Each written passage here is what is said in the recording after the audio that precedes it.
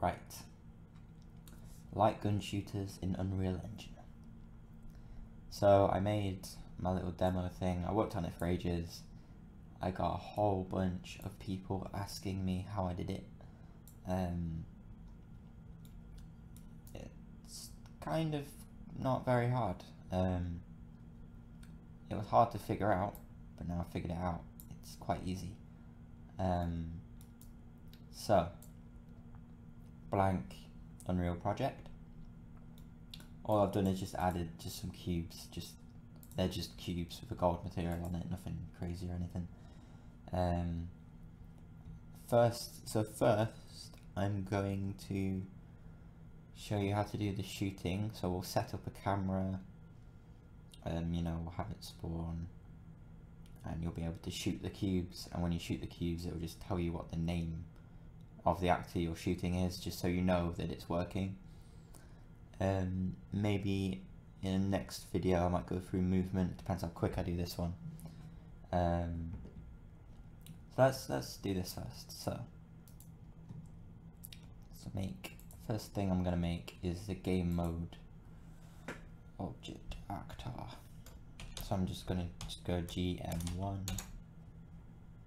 Um, I'm not I'm not actually going to do like anything in this to be honest. Um, I'm just doing it so in the world settings I can put it in. Then I'm going to make my pawn actor.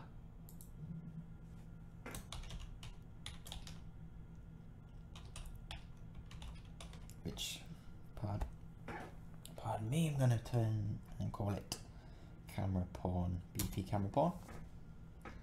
And then I'm to make a player controller.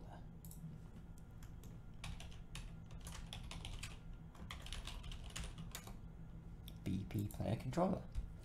Right. So what we want is first go into our camera pawn. All we have to do camera, add a camera in the add component section there. Uh, I'm going to assume you know how to use Unreal Engine to at least the basics. I'm not explaining the basics. It's there's so many other people who've done it. Um, I'm specifically talking about how to make a light gun shooter little thing quick. Um, so, so we have that. So pop it in the world. Press spacebar and you can do a quick 180 degrees. So he's facing this thing.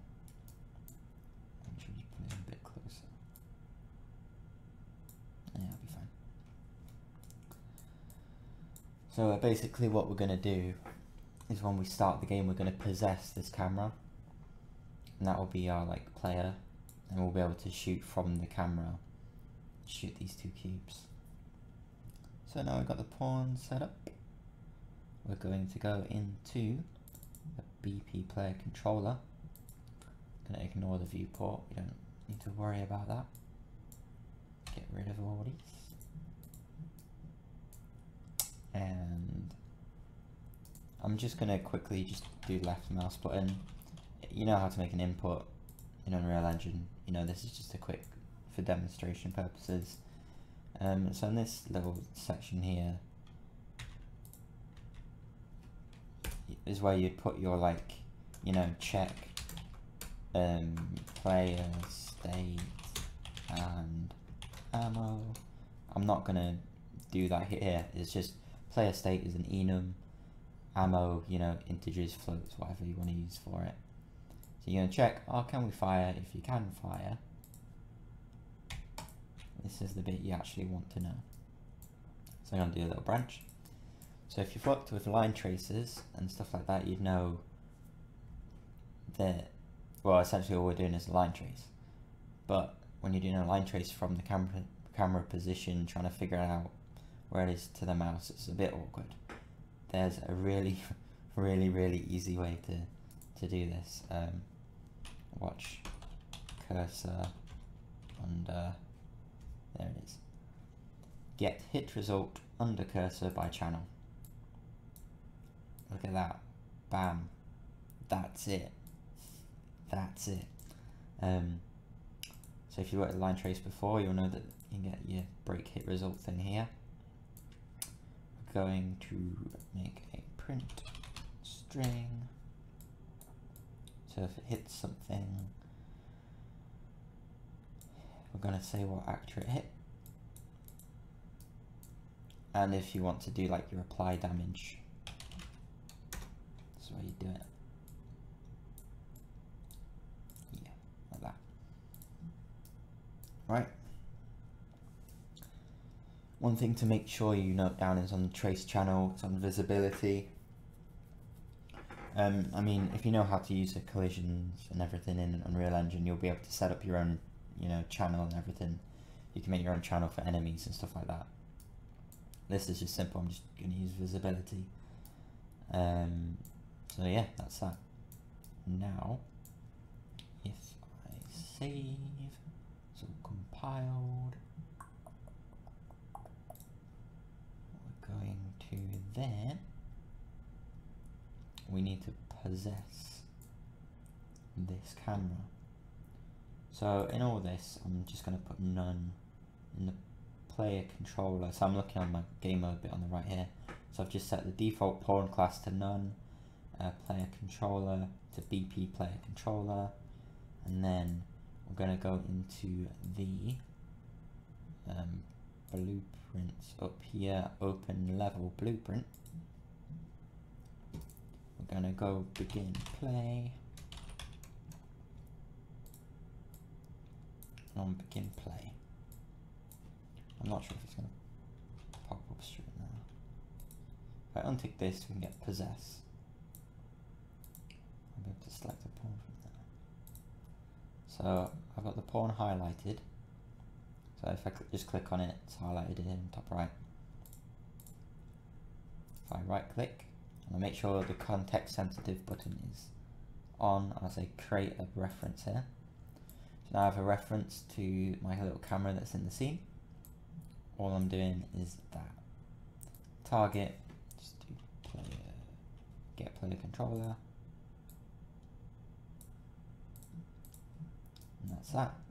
Now, I think I'm just gonna click and there you can see cube 1, cube 2. Now obviously you can't see my mouse so what we'll do quickly is in the player controller um, I wonder if I can just do it from here. Probably not. Oh, I can. So in the right details, show mouse cursor. Just click that. Yes.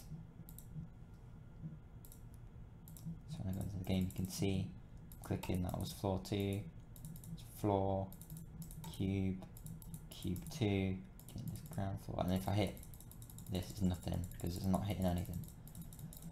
Um, so that's basically how you get your shooting. Um, quick was that?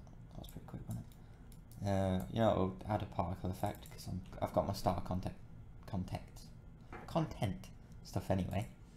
Um, so what I'll do is I'll add an explosion particle every time we hit something. So if I go into my player controller and let's just do it after here. So we're going to spawn a particle basically. Uh, I mean, you could do this in a function, you know. What I pref like the best way to do it is to lay it out as different functions going across your screen, and then you'll know exactly what each thing is doing, as opposed to just spaghettiing out the the whole thing because that's mad. Don't do that. I'm doing it because I'm showing you quick. Um, when you do it, do it properly. So spawn emitter at location. So if you've ever used particles before, you're gonna know what this does. Then all we're gonna do is impact normal. I wanna say. Let's do explosion. Or destroy. That'll work. So if I hit a thing, Oh, you see that? It didn't work.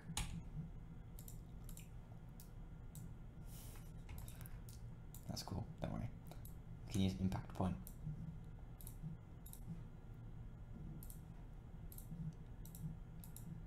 There you go. So if you've got your like blood effects, your gun shooting, your whatever effects, um, you can do it this way. Um, a cool way I'd suggest doing it is um, stop this is to make the hit impact hit impact point so where you hit the thing um, set that as a variable. Um, and then when you have different types of objects you know you want different particle effects.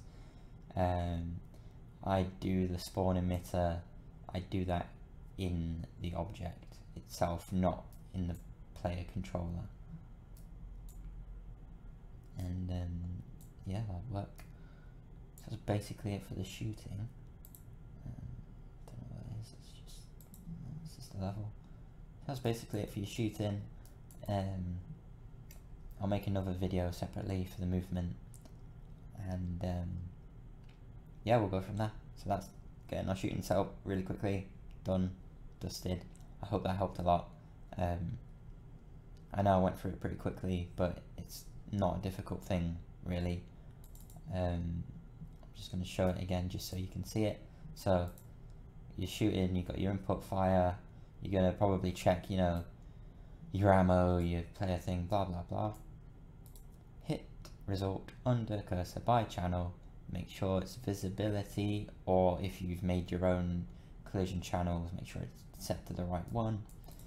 Break hit result you know what this is from a line trace. You're going to get your hit actor and you can apply damage to it from there. And obviously for debugging purposes if you want to check what it's hit you know get your display name and print it here. And then blah blah blah you've hit and you can you know make that a variable and make it accessible from you know after you've applied damage spawn it kind of thing. But yeah that's it. And I'll do movement in the next video. Thank you all for watching